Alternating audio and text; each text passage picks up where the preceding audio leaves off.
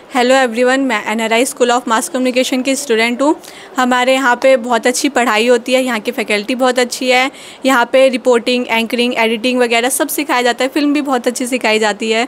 और हमारे जो डायरेक्टर हैं नरेंद्र सिंह सर बहुत अच्छे हैं, बहुत सपोर्टिव है।